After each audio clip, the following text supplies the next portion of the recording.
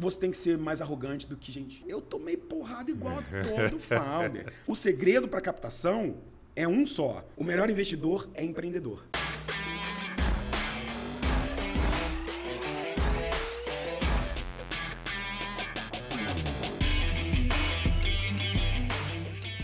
Olá, meus queridos e minhas queridas. Se você tivesse a oportunidade de conversar com a Muripinho, um dos maiores investidores anjos do Brasil, já tem 43 investimentos, 7 exits, investe desde 2011, já em rede aí com mais de 20 milhões?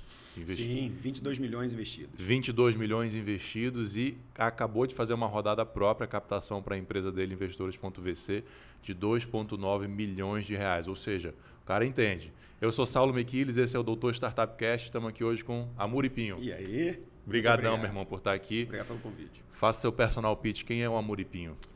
Amuripinho é, em primeiro lugar, um empreendedor que passou por vários personagens desse ecossistema. Então, eu criei uma empresa de software, como muitos começam. Depois, eu fui transformando um pouco isso, virando cada vez mais digital. Comecei a fazer investimentos anjos, porque os amigos da época também estavam fazendo negócios legais.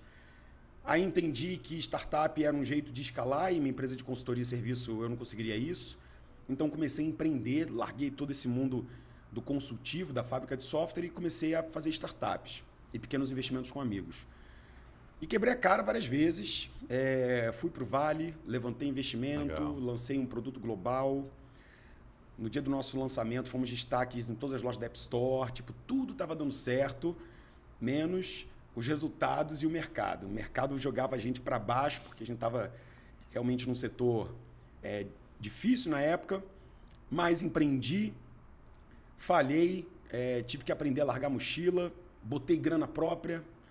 É, voltei depois do Vale para o Brasil, apanhado de, de ter empreendido em várias iniciativas, pensando eu não deveria ter saído do mundo do software, mas aí depois de um tempo acabei é, é, entendendo que essa era parte da jornada. Isso de ter sido investidor anjo, ter tido uma empresa, criado outra, startup, capta no vale, quebra, etc. Me deixou com alguma experiência, acabei virando vice-presidente da B Startups, Associação Brasileira de Startups. E depois de um tempo, os exits começaram a aparecer, é, isso me empoderou de certa forma. É, tive a oportunidade de virar presidente da B Startups e fui por cinco anos presidente da Associação Brasileira de Startups.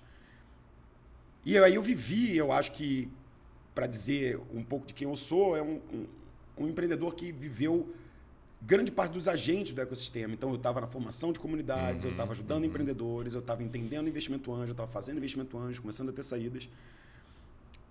E a minha pegada sempre manteve esse coração lá de trás, de um empreendedor que sabe que o dia a dia é mais difícil do que o que a gente vê nas redes sociais, sabe que é, empreender é uma atividade muito solitária, apesar de você ter um baita time, um monte de gente. Empreender é difícil é porque é todo mundo te pergunta, e aí, como é que estão as coisas? Você uhum. vai falar o quê? Então, é meio que o palhaço que tem que rir quando às vezes ele está triste. Então, e só ele sabe a real situação. Só né? ele sabe. Então, depois de passar por isso, cara, e ver alguns empreendedores que eu consegui ajudar tendo resultado e percebendo que a gente foi fundamental na história dele, eu entendi que essa iniciativa de empreender é realmente uma loucura e quem decide fazer isso não é bem da cabeça não. E que para mim é melhor ficar por trás do balcão, por trás da mesa, ajudando essa galera, uhum. porque é uma jornada que não é fácil. Então, hoje hoje eu tô com 39 anos, Sou fundador do Investidores VC.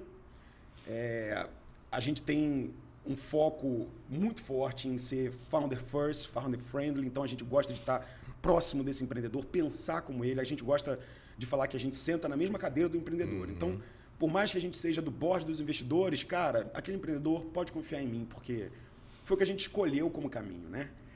Você pode fazer de qualquer forma. Você pode olhar um pouco mais para os investidores, um pouco mais para você, etc. Uhum que você não pode ficar mudando muito esse mindset, né? Então, quando a gente escolheu que, cara, eu quero ser reconhecidamente o maior investidor anjo do Brasil e o que mais apoia e o que senta junto do lado desse cara, se você muda isso, em algum momento, você perde todo o legado que você construiu. Então, e a confiabilidade, a confiança, a é. reputação é para o investidor é praticamente tudo. Né? É isso. Então, eu me considero um empreendedor, um cara que investe com cabeça de empreendedor, que construiu um ecossistema de investimento para ajudar os empreendedores, que ensina investidores a investirem com a mesma cabeça empreendedora que eu.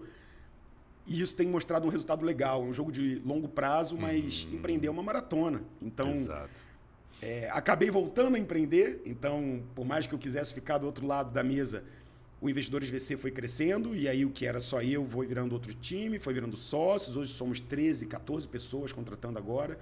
Captamos 2,9. Quando você começou lá atrás, não era essa a ideia? Não, não, não. Quando eu comecei lá atrás, eu só queria fazer um curso e ganhar uma grana. E, e aí eu pensei, será que tem gente que quer aprender como eu faço investimento anjo? E, e foi até um empreendedor que eu acabei investindo depois, que foi o um motivador para isso. Essa história é legal. Eu estava em BH e eu estava conversando com os meus amigos, assim, na época o Gestão 4.0 já tinha lançado a imersão. E estava dando um super sucesso. Era a segunda ou terceira edição deles. Final de semana, juntando a galera, ensinando como fazer uma revolução na sua gestão, etc. Eu peguei aquele formato e falei, e se eu fizer isso para o mundo do investimento anjo? Uhum. Bati na pauta dos meus amigos lá. Falei, Alfredo, TG, Tony, Nardon, vou copiar vocês. é isso, tô te avisando é, logo. É. Aí eles falaram, é, se você vai copiar, então você vai ter. Eu falei, não, não, não vou copiar o G4. Sim, eu vou só o, o formato. formato. Aí eles, então vamos embora. Falei, vamos nessa. E aí eu comecei, cara, com essa ideia, falando com alguns amigos, o Bruno Romano, que é um comediante, amigo meu lá do Rio de Janeiro, é, de São Paulo, chegou para mim e falou: "Eu tô vendo que você está nesse movimento de começar a querer criar um curso, alguma coisa sobre investimento anjo, né? Eu tô percebendo". Eu falei: "É". Ele, você não pode esquecer de fazer a foto da garagem. Aí eu, foto da garagem? Ele é, você tem que ter uma foto para você mostrar onde tudo começou. Porque lá na frente você vai ver como é que ela é importante. Boa. boa. Eu estava em BH, e aí eu estava com um grupo de empreendedores. E aí eu fiz uma foto no, na cabeceira da mesa, assim, com um monte de empreendedores, porque naquele papo ali a gente estava falando sobre a possibilidade de fazer um curso para ensinar a galera a investir. E aí eu postei, marquei lá, cara, hoje está começando um, uma ideia nova, uma iniciativa nova é, para eu ensinar a como que eu me relaciono com esses empreendedores, por que, que eles andam perto de mim, como que a gente pode ajudar eles e como é que você pode investir neles e se dar bem também. Eu tenho feito isso nos últimos 10 anos. Essa foto da garagem é, é não só teve esse efeito psicológico para mim, como um dos empreendedores que estava lá, que era o Pedrinho da Bag, chegou para mim e falou: Ô, oh, gostei desse trem aí, quero fazer. Falei: Ué, vambora? Vamos, vamos fazer. Ele, tá bom, vou te mandar mensagem. Eu, ah, legal. Aí eu já saí dali com alguma validação. Falei, pô, tem gente interessada. Tem demanda, tem demanda. Passa três dias, o Pedro da Bag fala: cadê o site para me cadastrar? Tinha site? Lógico que não. não. Aí eu, ah, veja bem, ainda estamos testando alguma coisa, não sei o que. Ele, tá bom, então manda só o link para pagar. Cadê que eu tinha link? Não tinha nada. Aí eu, ah, veja bem, não sei o que. Ele, tá bom, presida, já entendi, você ainda está em construção, sou empreendedor, estamos junto. Manda a conta da empresa, não sei o que. Eu falei, pode ser a conta pessoal. É. Aí ele, cara, manda logo o CPF. Eu mandei o CPF e ele pagou. Caraca. Eu não tinha nem data do curso. Nada, zero. Nada, zero. Só quando eu vi de primeiro, eu falei, agora eu tenho que fazer o curso, né? Então, ele me colocou é, é, é, para executar. A, a, demanda puxou, né? Quando o mercado puxa, uhum, mesmo uhum. quando você está completamente despreparado, tem alguma coisa ali, né? Sim, sim. E aí eu falei, cacetada, sem ter nada pronto, esse cara já decidiu pagar, o dinheiro está na minha conta eu não estava com muita grana na época, aquilo foi ótimo. Eu falei, agora eu tenho que correr atrás de outras três, quatro, cinco pessoas. Se tiver quatro pessoas lá, eu já, já faço foi, esse curso. Já foi. E, cara, é impressionante, porque, cara, você planeja, você tem o conteúdo, você tem a vontade, você tem a imaginação, tem a ideia e tal. Mas nada é mais forte do que alguém falar assim, eu quero fazer, tá aqui o dinheiro. Acabou. Validação é venda. Acabou, acabou, Entendeu? acabou. É Mas é um negócio interno, né? Que, é. Cara, alguém pagou e falou assim, eu quero fazer. Isso. Meu irmão, você fala assim, parece que é um senso de responsabilidade, alguma coisa assim. Não, já era. É. Nem que eu quisesse voltar atrás, agora já era. Eu vou ter que fazer. Acho que Sim. é bem isso que aconteceu é, é, é. E, e, no final do dia, cara, é, o ser humano ele tem, ele tem algumas fraquezas em, em, que ele acha que ele precisa de aprovação. Exatamente. Das pessoas fazer o que ele acredita. E, e, não é uma falta de coragem. É inerente ao ser humano. Então, no final do dia, a gente precisa que alguém fale pra gente o que a gente já sabia. Uhum. E aí, quando ele fez isso, o cheiro que eu tinha foi, foi comprovado. Eu fui para cima das vendas, comecei. Aí eu me senti obrigado né, a fazer isso. E aí eu fui pro Instagram, comecei a divulgar e eu enchi a turma. Botei lá 8, 9, 10 pessoas na primeira turma, fiz 100 mil reais em um final de semana. E não tinha time, não tinha estrutura, nada. não tinha site, não tinha nem nota fiscal. Tinha PPT para É, apresentar, não tinha e, nada. e aí eu entrei na sexta-feira com pouca grana, saí na segunda-feira com 100 pau na conta. Eu falei, tá de sacanagem. Eu tinha que estar fazendo isso há muito tempo. Muito tempo. E aí eu falei, beleza, próxima turma daqui a 60 dias. E eu enchi a segunda turma. Aí eu falei, zerei. Em um ano, milhão na minha conta. Pronto. Terceira turma, cadê a demanda? Era reprimida, né? Uhum. Então, sim, eu tinha pessoas que queriam fazer isso. Mas aquelas pessoas que pagariam só porque já acreditavam e confiavam em mim, tinha um limite. Isso. Quando eu fui fazer a terceira turma, opa, deu mais trabalho. Aí na quarta eu tive que planejar melhor. Mas para planejar melhor, talvez eu tenha que botar um pouquinho de marketing. Uhum.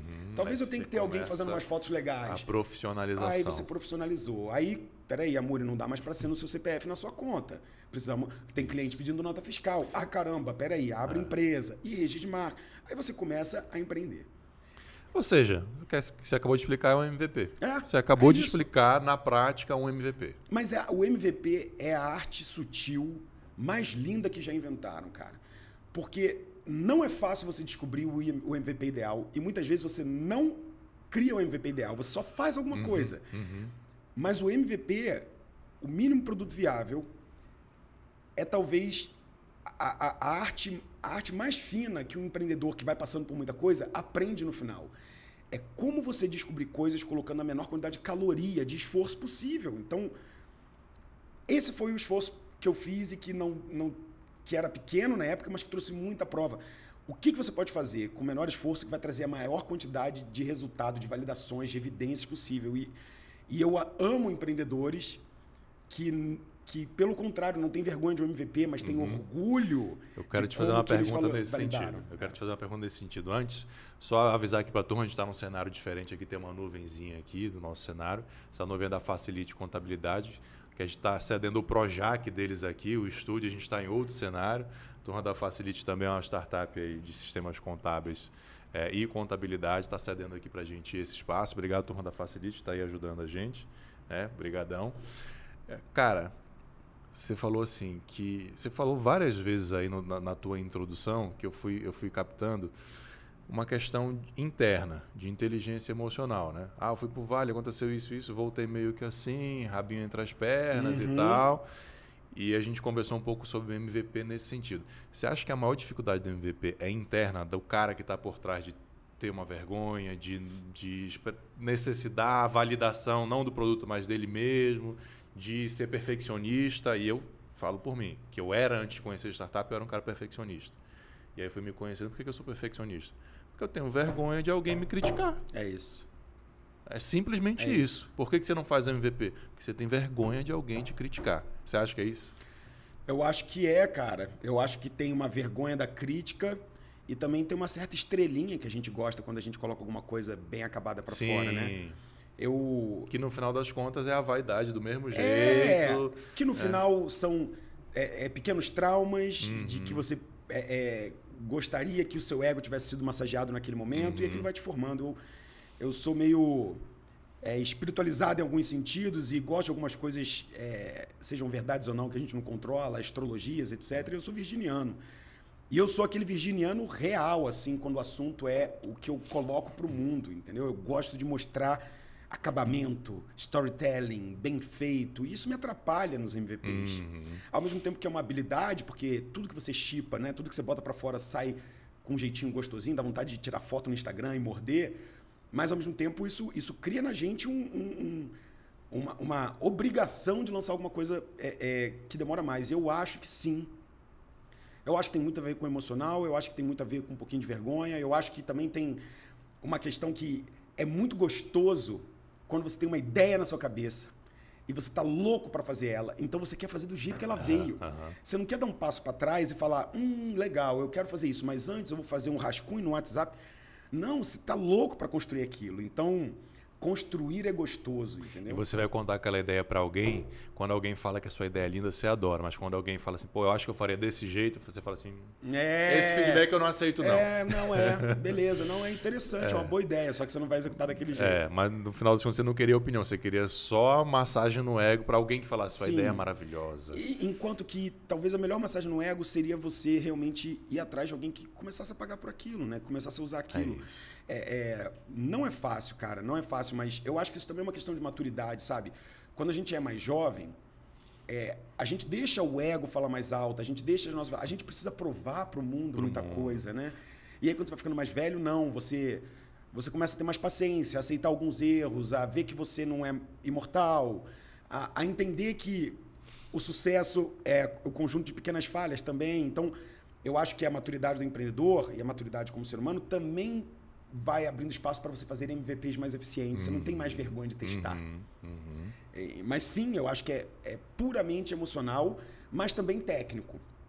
Porque é, ninguém me ensinou a fazer MVP, eu tive que aprender vendo os outros e eu tive que fazer MVPs ruins para começar a fazer MVPs legais. Então, é, é, também tem um quê de que empreender não se ensina. Uhum. A gente lê os exemplos. Dropbox lançou a startup dele fazendo um vídeo e as pessoas adoraram tanto o vídeo que se inscreveram numa newsletter e aquilo ali deu tanta gente acessando que os investidores quiseram colocar grana e deu tudo certo. Tenta fazer igual. entendeu? É, ele só é uma inspiração, entendeu? Uhum. É um ponto é, fora da curva que, que valida um exemplo, mas é, é na prática aí, é E aí a gente fica tentando buscar os exemplos, é, é, mas leva tempo até você entender o que, que é validação de verdade. Então, eu, eu, eu gosto disso, mas eu acho que a gente é pego é, justamente por essas vaidades, medos, inseguranças e vontade de construir alguma coisa inerente para o empreendedor, mas que depois de um tempo ele começa a aprender que é mais fácil ele ter validações e resultados do que ele ter o projetado na cabeça dele sendo construído por um tempo muito maior do que deveria. E nessa linha, como é que você avalia o empreendedor, o time de founders? Você deve ter lá um monte de métrica da startup, mas tem uma avaliação hard skill e soft skill também dos founders. O que, que, que, que você procura ali? Hum, é, na hora. Acho que a parte mais importante é. Tecnicamente, você sempre vai procurar. É, é, a grande verdade é o seguinte: alguns negócios, alguns times vão ter que ser muito aplicados tecnicamente, porque o modelo deles claro. exige isso. Alguns outros é execução acima de, de, de, de, de talvez de desafios técnicos. Mas, inevitavelmente, qualquer negócio, um que comece super health tech, científico, é, ou hardware, que exige engenharia pura e etc., ou SaaS, que o cara começa é, é, fazendo um serviço simples como um cartão, que você tem descontos em restaurantes, um clube, né? Uhum. Que não exige tanto tecnicamente, é mais operacional. Inevitavelmente, quando ele cresce, eles vão ter as mesmas complexidades de negócios para o negócio crescer. Mas o maior desafio que mais vai puxar esse cara é se ele encontrou uma veia no mercado. Então, o que eu procuro são empreendedores que procuram essas veias times que têm essa busca pela veia, porque senão ele entra naquele primeiro papo que a gente estava tendo do MVP. Ele só quer construir alguma coisa que ele acha que ele tem que construir. Então, hoje em dia, eu procuro empreendedores que têm menos a vaidade do que está construindo, menos a certeza do que está fazendo e mais uma vontade insana de descobrir algo muito grande. E você percebe isso é, conversando com o time de fundadores, entendendo se esses caras já realizaram alguma coisa juntos, se eles já têm uma história juntos, se eles já quebraram ou construíram coisas, se eles estudaram juntos. E o que, que eles fizeram enquanto time? Eles, eles são um time, e eu gosto de fazer muito paralelo com o futebol, porque quantos campeonatos esses caras já jogaram juntos? Eles uhum. sabem as habilidades um do outro. Quando um não está jogando muito bem, o outro compensa. Eles mudam a posição de jogador principal em partidas diferentes? Uhum. Ou é só o CEO que é aquele cara e todo mundo, sim senhor, e segue ele. É claro que ele tem que ser o líder, o visionário, o cara que dá o ritmo, o cara que contrata certo, mas é, se é um time de futebol, você não tem que ter um lateral excepcional, você não sim. tem que ter um zagueiro, um goleiro que segura a onda. Então, eu procuro times completos. Eu gosto muito de falar que a gente fala muito sobre a importância do time e é real. É, só vence o time, tá? Tipo, o mercado tem que ser bom para o negócio dar certo. Mas times bons procuram bons mercados. Sim. essa, essa, esse, essa mira laser no resultado faz com que esse empreendedor que não está num bom mercado procure isso incessantemente. Então, no final do dia, cara, você tem que encontrar empreendedores que tenham experiência juntos, que joguem bem, que sejam equilibrados, que sejam protagonistas em momentos diferentes, mas que sejam todos eles muito direcionados a essa busca por crescimento. E não dá para explicar isso e não dá para colocar quais são as evidências disso, porque o Pedro Sorrentino tem uma frase muito legal, cara, que eu gosto. Ele eu ajudo empreendedores que são inevitáveis, né? Ele chama de inevitable founders. E a palavra inevitável é incrível, porque tem alguns caras que você encontra e você percebe isso, você fala, é inevitável que esse cara vai dar sim, certo. Sim, tem uns caras que eu, a gente conversou isso. Se esse cara vender picolé, eu vou botar grana na mão É dele isso. porque ele vai dar um jeito disso aqui explodir. E, e- e aí não, não dá pra dizer se a- às vezes ele é inevitável porque ele é um gênio, às Não. vezes ele é inevitável porque ele é um baita de um líder, às vezes ele é inevitável porque ele trouxe um time muito é, é, é, experiente, às vezes ele é inevitável porque ele escolheu um mercado e teve coragem de entrar naquele mercado. É um- uma combinação de fatores. É como se startups fossem conjuntos de super-heróis, onde cada super-herói vai ter um poder diferente. Você nunca vai dizer qual é o poder melhor, e eles combinados conseguem se ajudar. Tipo, o Quarteto Fantástico é melhor do que o Avengers, né? A Liga da Justiça é melhor do que o universo XYZ. Mas quando você tem os irmãos ativar, sei, eles se transformam em alguma coisa e ajudam. E aí tem o Superman, que é o poderosão, mas a Kryptonita ferra ele. Então, como definir quem é um super-herói? Super-herói é quem tem superpoderes. Times bons são times onde esses sócios têm superpoderes completamente diferentes de outros times, mas juntos aquilo ali se torna uma baita de uma liga, um baita de um Avengers. Então, é, é, é, é um feeling, é técnico, é acompanhamento, mas principalmente conhecer profundamente esses caras para descobrir quais são os poderes que ele tem. E muitas vezes os poderes não encaixaram. Os times não encontraram coisas que realmente façam sentido pro outro. Eles não vão conseguir enfrentar os inimigos com aqueles poderes combinados, mas muitas vezes eles vão descobrindo caminhos, trazendo gente nova, se reinventando. A- A sacada é essa também, né? Esse cara, ao buscar incessantemente alguma coisa, ele precisa se reinventar enquanto ele não achar. E, e eu acho que é isso que eu procuro nesses caras. E não tem fórmula. É tempo, acompanhamento, experiência, experiência ou já ter feito vários também. feeling. Com certeza, com certeza. Cara, tem uma pergunta que eu faço para muitos investidores que eu acho que a resposta é muito tênue e queria ouvir tua opinião. Você está chamando os caras de super-heróis.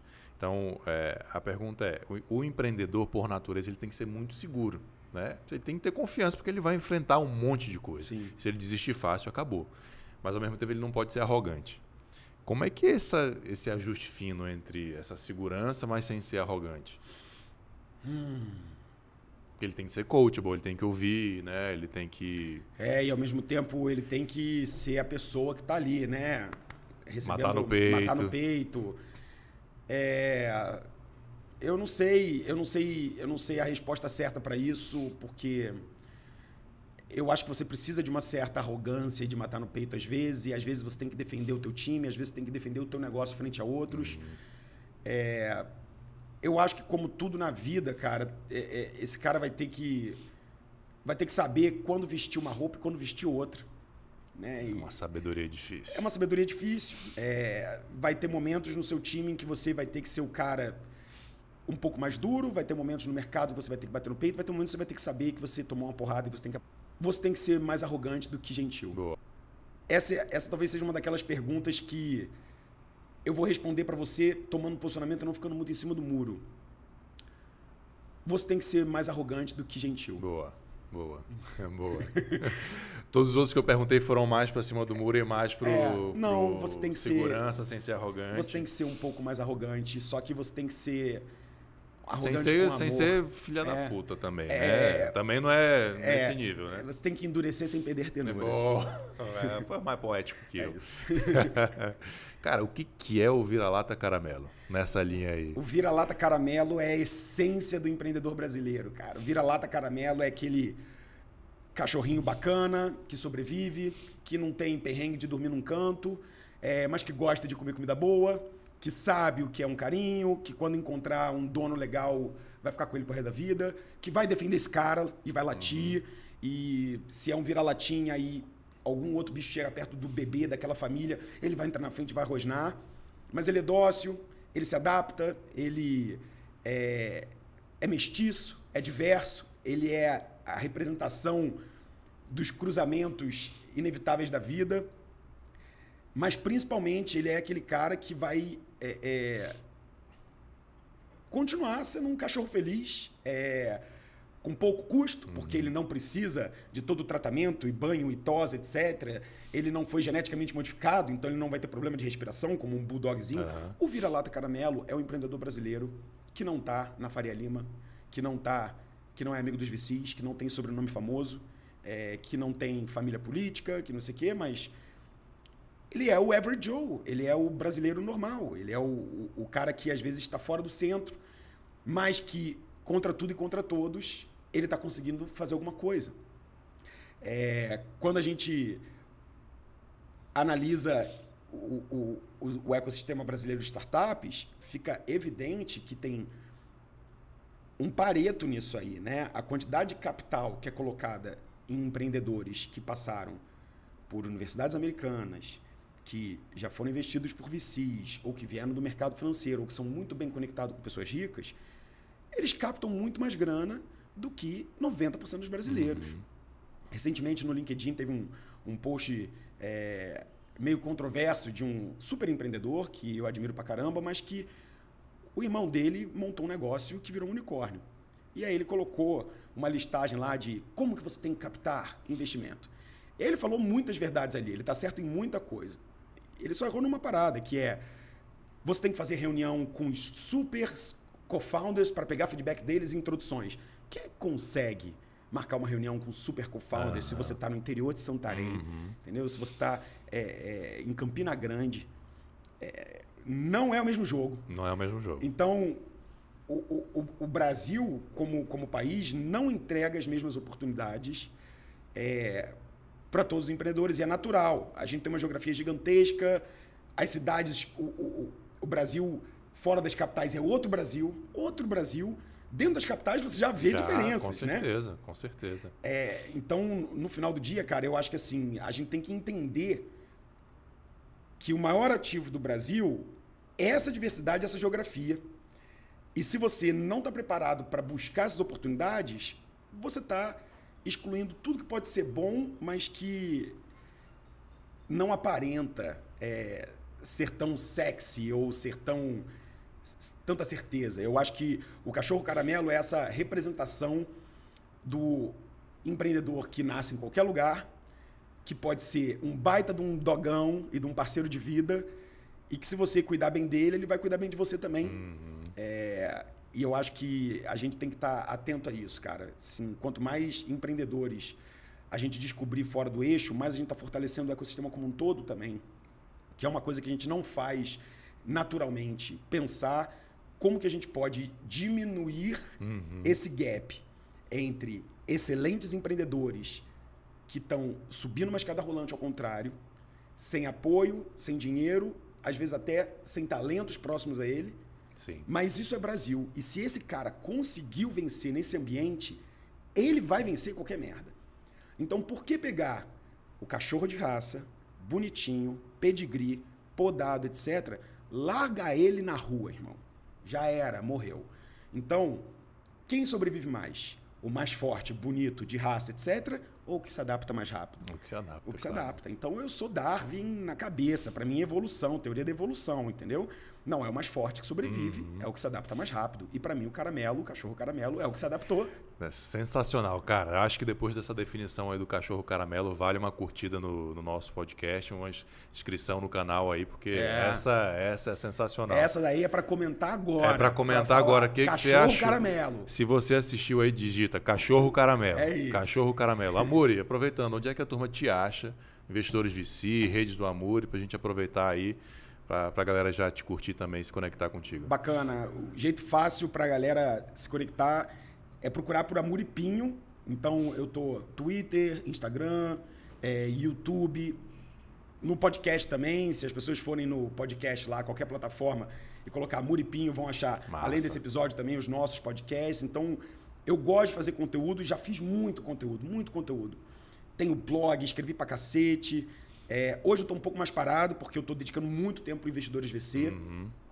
Mas eu tô voltando em breve com um projeto legal Opa. aí, cara. É, tô, tô... Não pode revelar ainda Posso, não? super posso revelar. Opa. Eu tô, tô há dois anos escrevendo um livro chamado Métricas Importam. E é um livro para ajudar empreendedores desmistificando isso e ajudando eles, a, de ponto de vista prático, colocar o negócio um pouco mais nos eixos.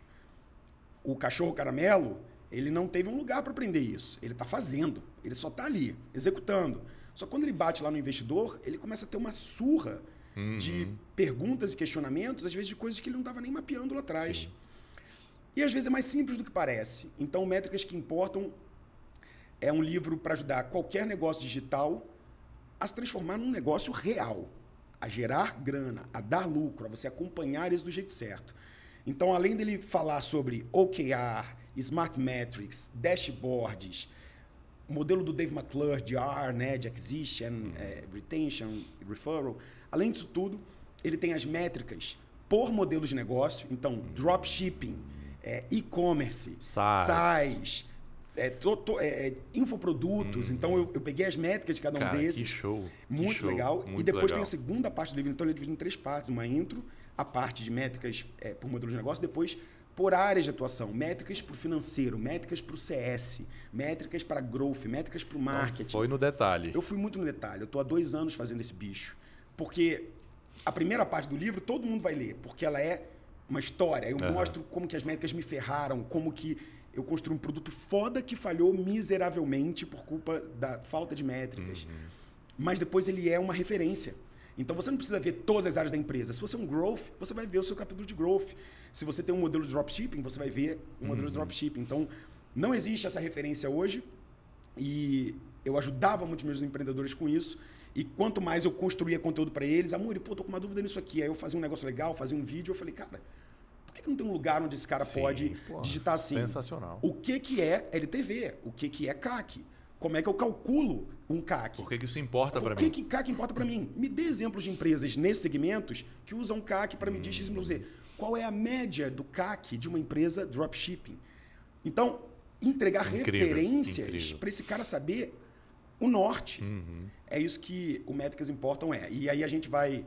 É, o livro está escrito, eu estou na parte de finalização e agora eu vou começar a colocar parte desse conteúdo, né? Então a gente vai ter um podcast legal, de apoio também, legal, tem uma legal. newsletter que vai apoiar. E a ideia é que seja uma comunidade gratuita, aberta para founders, empreendedores e empreendedoras sobre métricas, onde eles vão tirar suas próprias dúvidas, onde eles vão ajudar uns aos outros e onde a gente vai ter um baita do conteúdo digital, impresso, podcast, news, etc, para ele consultar essas métricas sempre que ele tiver dúvida. Incrível, pô, já estou curioso para conhecer esse conteúdo. Então ah, vai sim. ser aberto, vai, digital, super aberto, digital, gratuito, vai ser bacana. E aí o livro saindo sim, aí o livro vai ser vendido, etc. Mas o projeto é maior do que esse. O projeto Sim, é o seguinte, o cara, livro é, uma, é um braço. O livro é um braço. O livro, o livro organiza e consolida, mas o ideal é que a gente construa algo que possa ser realmente útil para qualquer um, de qualquer lugar, entendeu? Show de bola, é. show de bola. Turma, bate-papo com a Muri aqui tá tão bom, mas tão bom que a gente teve que fazer parte 1 e parte 2. Então a gente vai cortar esse podcast aqui agora que deu mais de uma hora de papo com muito aprendizado e semana que vem sai o próximo. Então, se você está acompanhando aqui nessa semana, relaxa, semana que vem vai sair o próximo.